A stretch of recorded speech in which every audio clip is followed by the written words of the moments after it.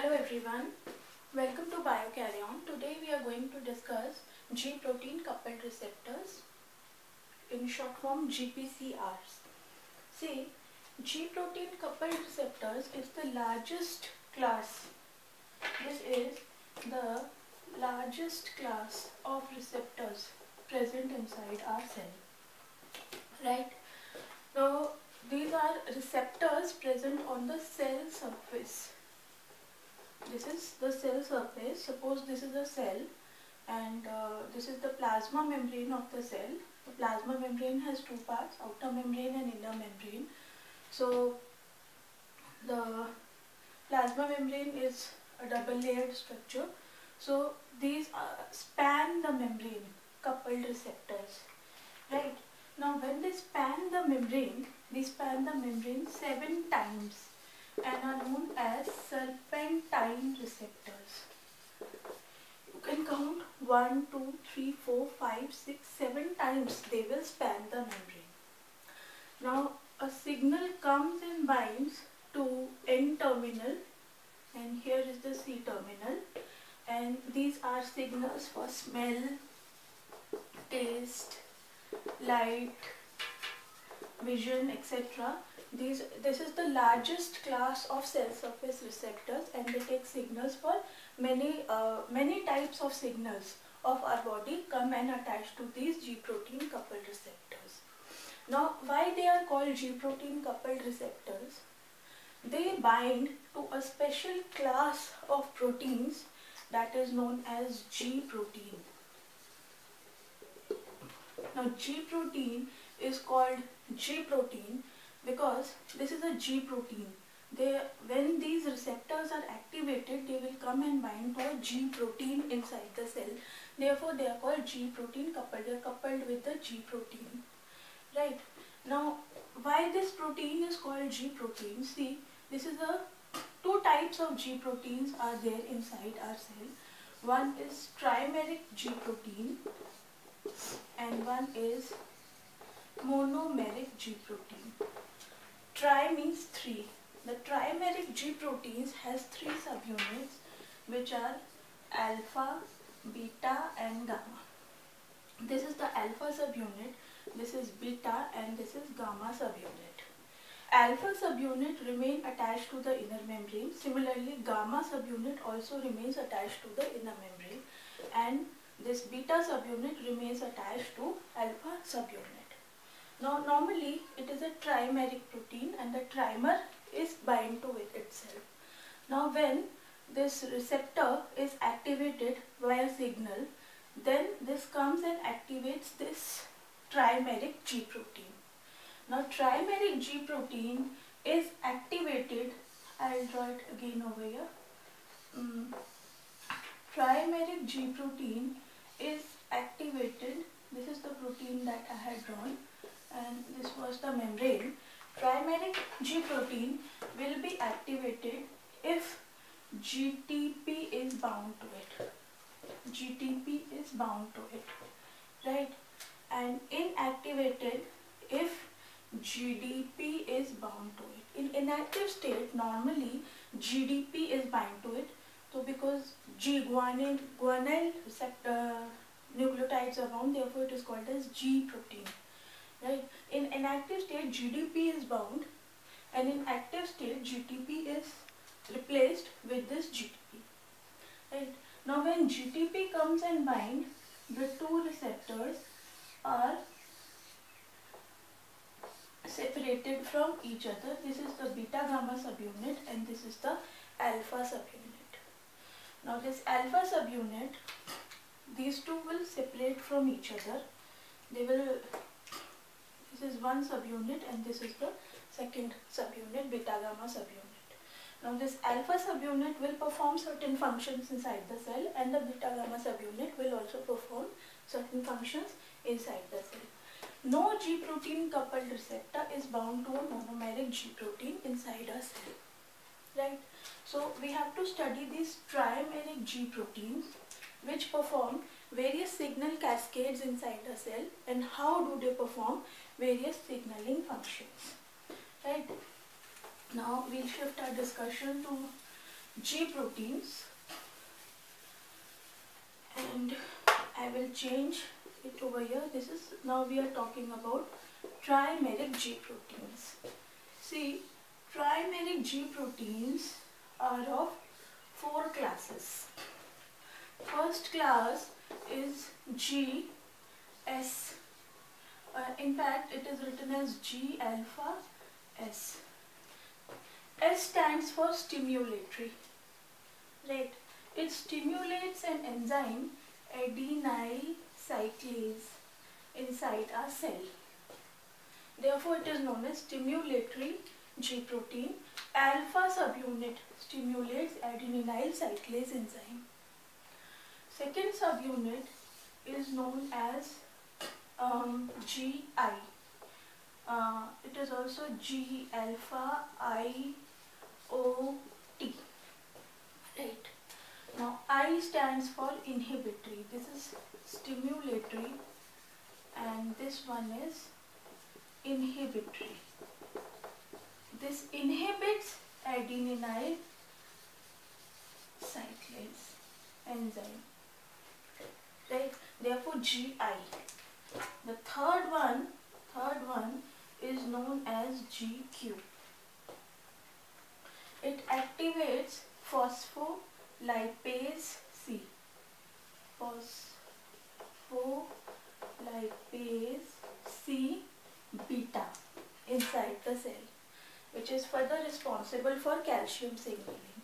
And the fourth category, fourth cat this is also known as G, this is also known as GQ instead of G11. Now fourth category is G alpha 12 13 right. This fourth category G alpha 12 13 um, for 12 13 uh, again the alpha subunit is there which does the function.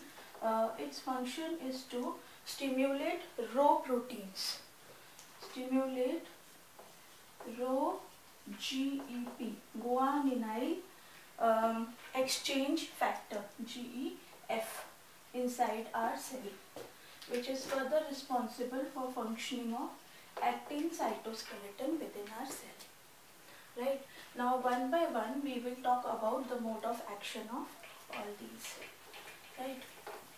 The first class is G stimulatory. See now this alpha subunit which is activated and now bound to GTP inside the cell. This activates another enzyme inside our cell that is known as adenyl cyclase. Activates another enzyme, say this is, this is the enzyme AC adenyl cyclase inside the cell. This alpha subunit comes and works on this. Right. Adenyl cyclase converts converts ATP into cyclic AMP.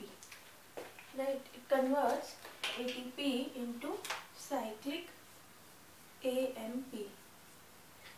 Right. Now cyclic AMP activates an enzyme that is known as PKA. That is protein, protein kinase A. Protein kinase A has four subunits. Four subunits. Two are regulatory subunits and two are the catalytic subunits. Right. Now when PKA is activated, the regulatory subunits and the catalytic subunits are freed from each other. Here are the regulatory subunits and these are the catalytic subunits. Now these freed catalytic subunits are in the active state and here they were in the inactive state. The active subunits they go inside the nucleus. Inside the nucleus, they activate inactive CREB protein. Inactive. So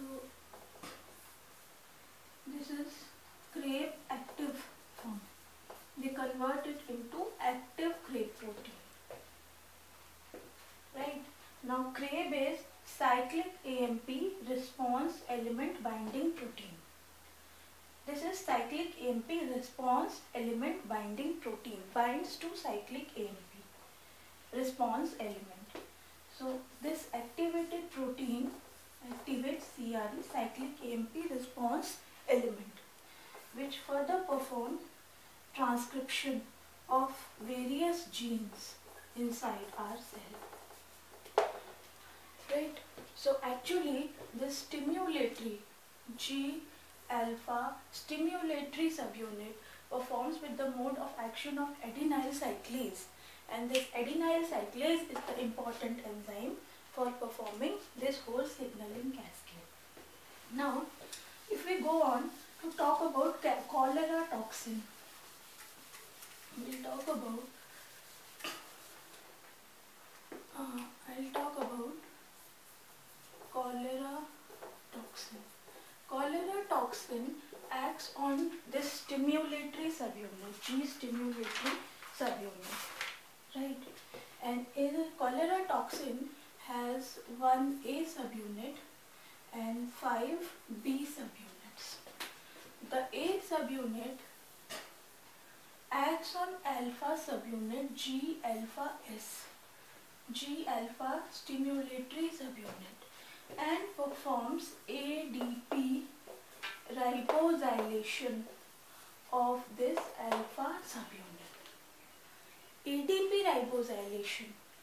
ADP ribosylation of this stimulatory subunit disallows it to bind. Now it will not bind GTP with it. If it will not bind GTP with it, it will not be. Not activated, G alpha will not be freed at all. If it is not freed, that means adenyl cyclase. Adenyl cyclase enzyme that I was talking about here, adenylyl cyclase enzyme that I was talking about here, this enzyme will not be activated. Right?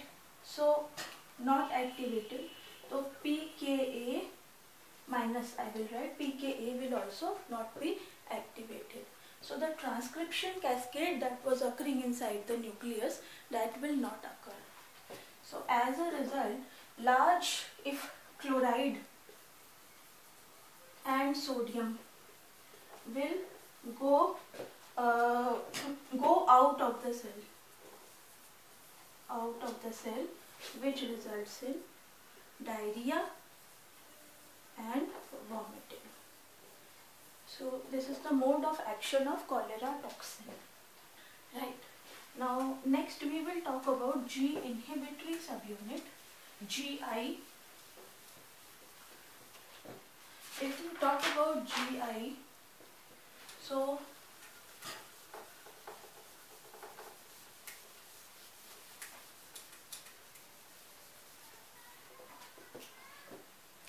I talk about GI inhibits adenyl synthase. Right. Pertussis toxin is there in our body. Suppose pertussis toxin which is produced by Bordetella pertussis moves goes into your body. Right. So what happens? This toxin is initially released from the bacterial body in inactive form right initially inactive toxin. Inactive. The toxin is inactive. Right. Now it binds to this inactive one binds to this. Uh, no no. It will not bind to G protein. It will bind to no. It will not bind to it will bind to some other receptor inside the membrane. Receptor in membrane and that is the receptor for pertussis toxin, not G protein. Now uh, it goes inside the cell and an endosome, and an endosome takes it further. Right? Now after going inside the cell, it goes to Golgi, trans-Golgi network and from Golgi through retrograde transport, it will further go into the endoplasmic reticulum. Now during this transport process, this inactive, uh, this becomes active. And the activated one, activated protein goes and acts on GI and causes ADP ribosylation of alpha subunit. Now alpha subunit inhibits adenyl cyclase in active form. Right? Inhibits adenyl cyclase in active form. Now ADP ribosylation of alpha subunit makes this alpha subunit remain bound to beta gamma subunit. It will remain bound to it and GDP will remain bound to it. So now this protein is unable to be freed, it will not be freed from the beta gamma subunit. If it will not be freed from the beta gamma subunit, it will remain in this form. So it will not inhibit adenyl cyclase. So adenyl cyclase will be um, adenyl cyclase will be active plus I am writing plus an active adenyl cyclase will release lot of CAMP inside our cell and lot of CAMP inside the cell um, will result in abnormal biological signaling.